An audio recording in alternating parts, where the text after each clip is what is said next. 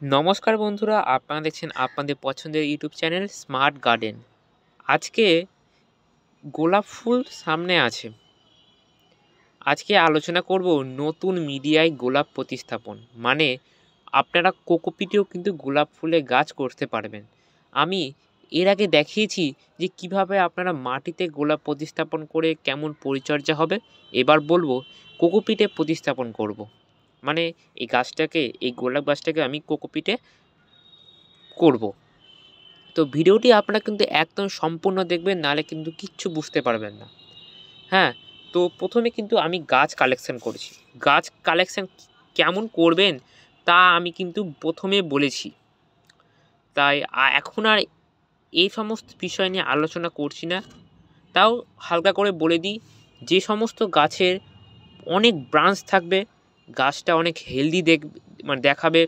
গাছের কোনো পাতা নষ্ট থাকবে না, গাছের পাতা ফ্রেশ থাকবে হ্যাঁ? আর আর গাছে অনেক ব্রাঞ্চ থাকবে, আর গাছের পাতাগুলো পুরো লাল লাল হয়ে থাকবে। সেই সমস্ত গাছ দেখেই কিন্তু আপনারা গাছ চুজ করবেন। নাহলে কিন্তু পরবর্তীতে সমস্যা হতে পারে। গোলাপ গাছ এখন নার্সারিতে অনেক আছে। মানে যেরকম ধরেন একটা ডালে ওপরই ফুল ফুটে আছে হ্যাঁ? তো সেরকম কিন্তু অনেক গাছ আছে, কিন্তু আপনারা কিন্তু একটু খরচা করে আপনারা কিন্তু এই সমস্ত গাছ কালেকশান করতে পারেন। আমার এই গাছটা গাছের দাম নিয়েছে একশো টাকা। ঠিক আছে? তো প্রথমে কি করতে হবে? আমাদেরকে কিন্তু এই যে এখানে টবে যে ড্রেনের সিস্টেম আছে, সেই ড্রেনের সিস্টেমটা কিন্তু বন্ধ করতে হবে।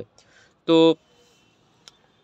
আমাদেরকে কিন্তু এই কাজটা সর্বপ্রথম করতে হবে, আর যে পাথরগুলো দিয়ে বন্ধ করছি, সে পাথরগুলো কিন্তু একদম ভালো হতে হবে। হ্যাঁ?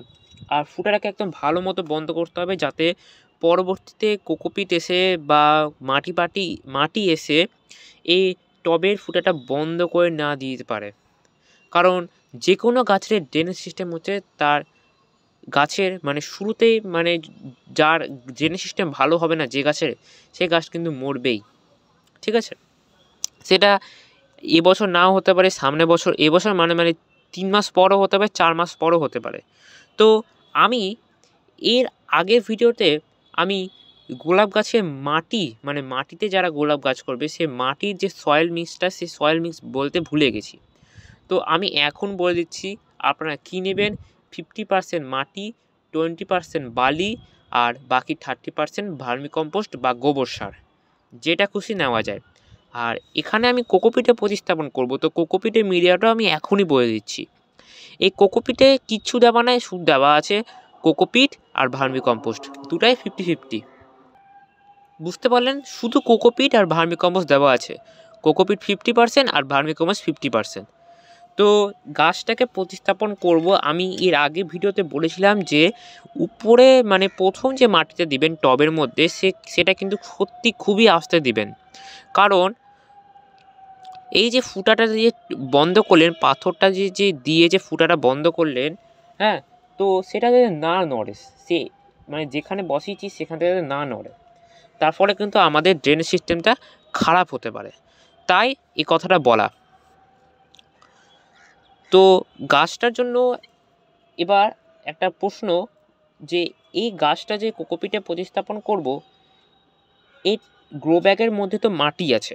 হুম তো আমরা কি মাটি সমেত প্রতিস্থাপন করে দেব? আমি এখানে যেটা করব সেটা হচ্ছে, আমি এখানে মাটি সমেতই গাছটাকে প্রতিস্থাপন করে দেব। হ্যাঁ তাতে কিন্তু গাছের কোনো সমস্যা হবে না। বা আপনারা যদি হ্যাঁ আপনারা যদি মাটিটা সম্পূর্ণ মানে মাটি ছাড়া যদি কোকোপিটে প্রতিস্থাপন করতে চান, তাহলে পরে আপনারা এই গাছটাকে একটা বালতির মধ্যে একটা রাত পুরো চুবিয়ে রেখে দিবেন। ঠিক আছে? তারপরের দিন আপনারা পুরো সম্পূর্ণ একবারে শিকড় সমেত গাছটা পাবেন। তখন আপনারা গাছটা প্রতিস্থাপন করতে পারেন। ঠিক আছে? তো আমি এখানে কিন্তু সম্পূর্ণ মাটি সমেতই গাছ প্রতিস্থাপন করে দিব। গাছটাকে কিন্তু আমার বসানো হয়ে গেছে। এবার গাছটাকে কিন্তু একদম পুরো কোকোপিট দিয়ে গাছটাকে ভর্তি করে দেবো। মানে টপ ভর্তি করে দেবো। এবার টপ ভর্তি কতটা করব সেটা একটা প্রশ্ন। আমি এর আগে ভিডিওতে বলেছিলাম যে আপনারা অনেকেই টব ভর্তি করে মাটি দিয়ে দেন মানে একদম কিনারা পর্যন্ত আপনারা কিন্তু মাটি দিয়ে দেন। তো সেই ভুল কিন্তু আপনারা করবেন না। কারণ আপনারা পরবর্তীকালে নিশ্চয়ই এই গাছে খাবার দিবেন বা মাটি খুঁড়বেন, তো তাতে কিন্তু গাছটার সমস্যা হতে পারে। অর্থাৎ মাটি খুঁড়তে সমস্যা হতে পারে, গাছের মাটি পড়ে যেতে পারে তাই আপনারা কি করবেন? কতটা পর্যন্ত আপনারা মাটি দিবেন? সেটা আমি দেখিয়ে দিচ্ছি আজকে আবার। হ্যাঁ তো এইগুলো বিষয় কিন্তু আপনাদের জানা খুবই প্রয়োজন। তো আমার কভার করা হয়ে গেছে। আপনারা মাটি কতটা ছাড়বেন? আপনারা মাটি ছাড়বেন হচ্ছে হাফ ইঞ্চি। হ্যাঁ মানে আঙ্গুলের এতটা পরিমাণ আপনারা কিন্তু মাটি মানে মাটি বলছে টবের থেকে মানে ফাঁক রাখবেন। তাহলে পরে গাছের মাটি খুঁড়তে সুবিধা হবে বা গাছে যখন গাছে খাবার দিবেন, গাছে খাবার দিবেন তখনকা আপনাদেরই সুবিধা হবে। ঠিক আছে? তো এবার বলি এই গাছটা কেমন পরিচর্যা করবেন। তো গাছটার আপনারা দেখছেন যে এই গাছটার কিন্তু বেশি বয়স না। ঠিক আছে? মানে গাছটা কিন্তু বেশ বয়স আছে। সরি বয়স না কেন, বয়স বয়স আছে। তো এই গাছে কিন্তু একটু ভালো পরিচর্যা আপনাদের কিন্তু করতে হবে। তাতে পরবর্তীতে এরকম সুন্দর সুন্দর আপনাদের কিন্তু ফুল দিতে পারবে। তো প্রথম পরিচর্যা যেটা হবে, আপনাদেরকে গাছটা কোথায় রাখবেন? আপনারা এই গাছটাকে রাখবেন হচ্ছে একদম ফুল সানলাইটে যেখানে ছ ঘণ্টা, একদম পুরো ছ ঘণ্টা সূর্যের আলো এসে পৌঁছায়। ঠিক এমন জায়গায় কিন্তু আপনাদেরকে এই গাছটা রাখতে হবে। আর আপনাদের কী করতে হবে, গাছটা এই যে প্রতিস্থাপন করলাম, এই গাছটা কিন্তু এখন, এই গাছটাকে এখন আপনারা একদম ছায়া অর্থাৎ সেমি সেটে রেখে দিবেন। সূর্যের আলো পাবে মানে অর্থাৎ সূর্যের আলো পাবে না তা না সূর্যে হালকা যে আলোটা মানে ডাইরেক্ট যে সানলাইট সেই সানলাইটটা যাতে না পড়ে। হালকা যে আলোটা আসে সে আলোটা কিন্তু আসবে। ঠিক আছে? এবার বলি জলের ব্যাপার। এই গাছকে কিন্তু খুব বুঝে শুনে গাছে জল দিতে হবে। যখনই গাছটা মানে মাটিতে হাত দিয়ে দেখবেন, গাছের কোনো ঠান্ডা ভাব মানে কোকোপিটে সে কোনো ঠান্ডা ভাব লাগছে না তখনই কিন্তু আস্তে করে অল্প একটু জল দিয়ে দেবেন।